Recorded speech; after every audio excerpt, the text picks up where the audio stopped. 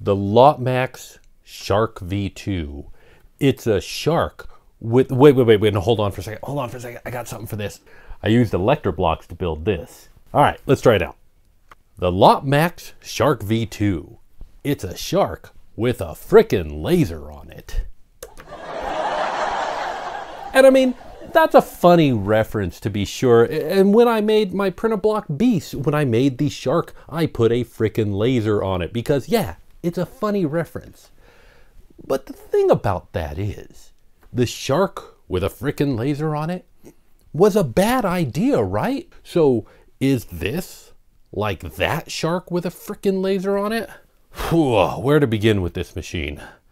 Well, maybe I should start at the very beginning. I hear that's a very good place to start. Ah, come on, it's an old reference, but it checks out. all right, all right, let's put that away for a little while. So even before I had turned on this machine, I had some serious concerns. For instance, the feed motors. This is a dual material system that both feed into the same nozzle, and there's really nothing wrong with that, but one of the feed motors is on the X gantry and the other feed motor is attached to the top bar. Now, I'm not an engineer, but wouldn't it make sense to just mirror what you're doing on one side and on the other? The result of this strange sort of doing it two different ways is that one of these filament holders is nice and pretty with their logo on it, but the other one couldn't be because the feed motor was in the way of it. At what point did they think that that was okay? Now, I'm putting this together at the makerspace, and one of the patrons there, a young man who frequently comes in, says, It looks like they speed ran the engineering process. And I went, Oh, I'm stealing that line. And I stole that line. but that's not the only thing that gave me pause for concern. For instance, there is no wire management, not even spoken of. In the manual, it says hook it up this way, but then it doesn't say what to do with the wires to keep them out of the way. But you know what it does say in this manual? By default, we flash bicolor printing, so make sure the second extruder has filament running through when print in single color. Now to be clear, the Changlish isn't the problem here. The problem is they're saying even if you print with a single color, the way your machine is set up, you need to stick filament through the filament detector, the secondary one, even if you're not printing with it, or the machine will fail. Yeah. Now I hear that they have a new firmware that actually addresses that issue, so I guess good, but they sent this out the door. In fact, this is the Shark V2. I can't even imagine what the V1 was like if they're shipping this, if they're shipping this out the door like this and calling it a complete project. This was the do-over and this is what we're getting? My mind boggles. But I'm going to persist with this machine. So I turn it on and I try to decide which one of the test G codes that they put on the SD card I'm going to start out with. Now, the funny thing is though, I oftentimes will take those test G codes and look at them in a G code preview so that I can see what they're going to be and decide which one I want. And every single one of them was single color only. Does that mean that they don't trust the dual color printing capability in this? You know, I've used 3D printers in the past that tried to put two filaments into a single nozzle and most of them most of them don't work very well. And is that going to be the case with this one?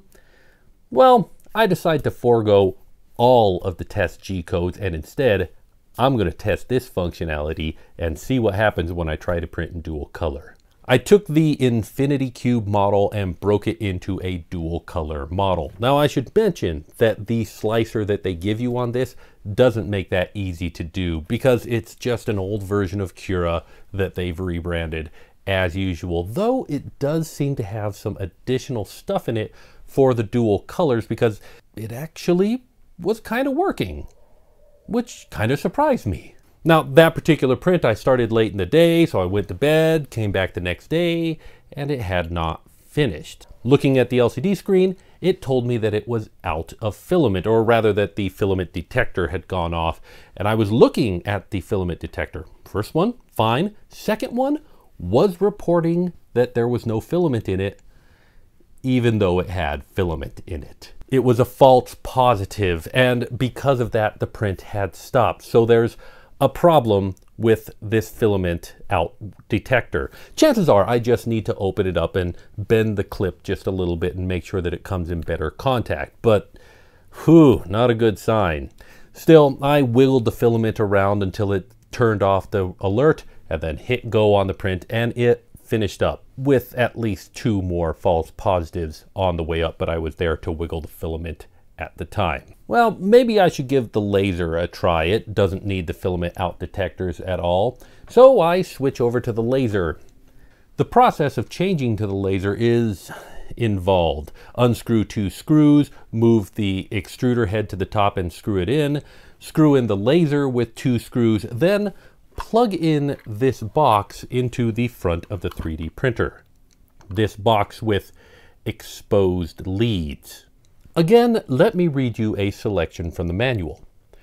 Please be sure that the screw hole it positioned on top so that it can attach to the y-axis. Failure to do so will destroy the 3D printer.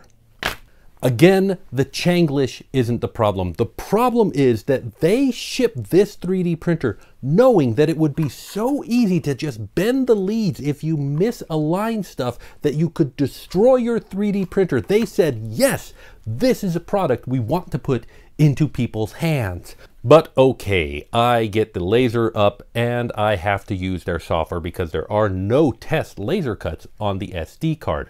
So I load up this software and oh, this software. Okay, first of all, on the left, it's got a picture of your build area measured in inches. But on the right, the measurements are done in millimeters.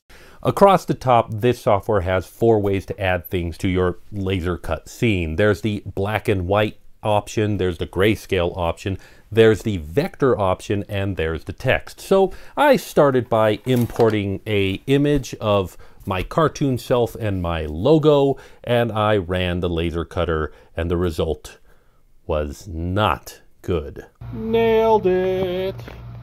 Uh, turns out I had skipped a step. I needed to focus the laser. I needed to move the Z up and down until the laser made a perfectly sized little hole when you just kind of like quickly double tap it. The manual doesn't say how to focus it, it just says to focus it.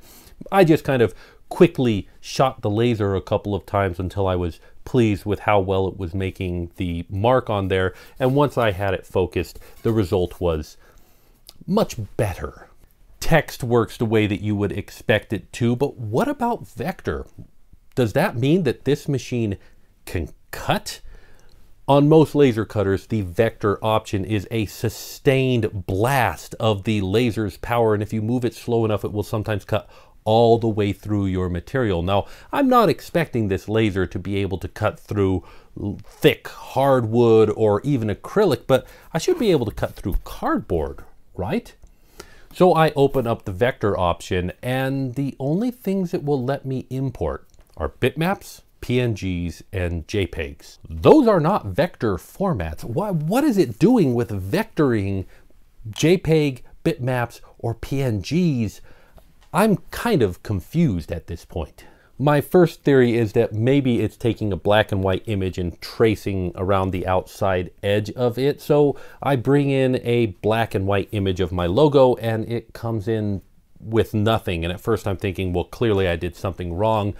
And I did, because this particular black and white image wasn't black and white, it was black and transparent background. And to this software, transparent is black, so it was black on black, so it didn't trace anything. Of course, it should have been white on transparent, because everybody does white on transparent backgrounds. fine, fine, I've got a black and white one. Black, white background, sure enough, it brings it in and it traces around the outside edge of it. So I start what I think is going to be a cut, and it's very clearly just etching, but it's etching really badly. It's going back and forth, but it's, it's only hitting the lines that are more or less horizontal. And I'm starting to wonder about this. Sure enough, when it finishes the one etch, it starts going up and down and etching the lines that are vertical. And even this, as I'm going through, I'm like, it looks like it's missing parts. And sure enough, as soon as it finishes the vertical etch, it goes diagonal one way and diagonal the other way, catching all the lines that are more or less going those diagonals. And when it finishes, sure, the result doesn't look bad for an etch, but think about what it did here. It started with a black and white image. It figured out the line that went around the outside of that. It figured out the angle that that line is traveling as it goes around the outside of it. And then instead of following that line, it just etched each of those lines at different passes. Why? What benefit does this have over just etching it. Either way, this machine isn't going to be cutting through anything. It is only for etching. You know, they did give us these really cool little glasses to go with it that you know, they don't quite fit on my head, but they really do trippy things to the world when you look through them. Holy smokes! Actually, now that I'm looking at it in this light, this is an amazing machine. I mean, holy, this could give Prusa a run for their money.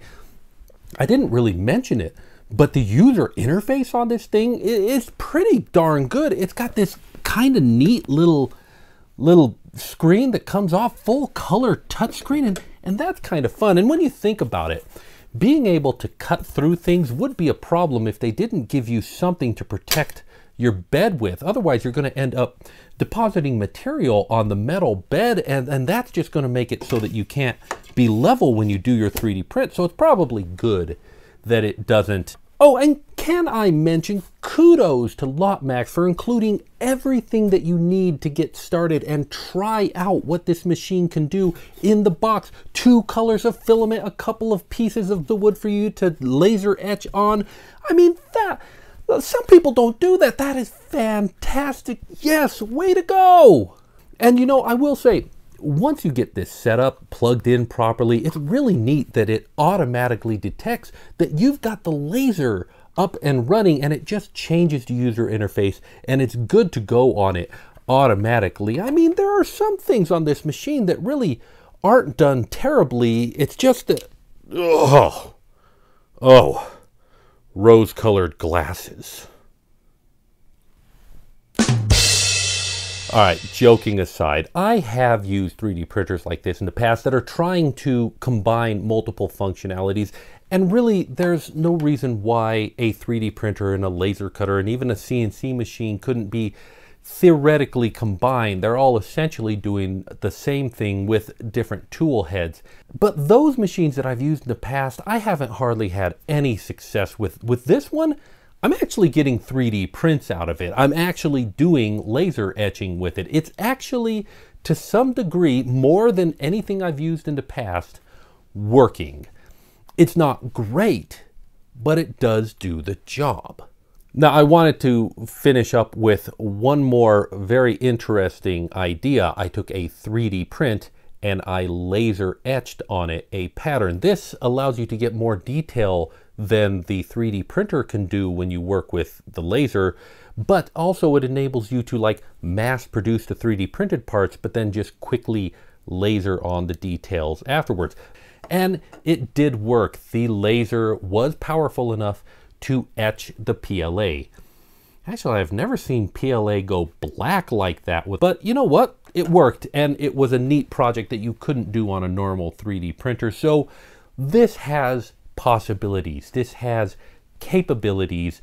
And despite the fact that it very clearly was a rush job for the engineering, what they put out, I can't deny, actually works. Well, that's the end of the video, but wait, before you go, while you're checking out this cool thing posted by one of you on the What You Making channel on my Discord, why don't you open up the cards and see what deep dive into the topics of this video you can do.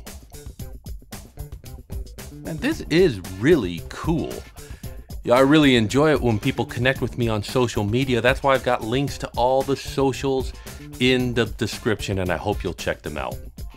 I've also got a Patreon, which you can check out here, and I'll tell you a little secret about the suggested videos. This is the one that YouTube thinks that you'll like. This is the one, though, that I think you'll like. Which one of us is right? Only one way to know for sure. Gotta watch them both. And remember, safety first, because I really do care about you. And see you next time.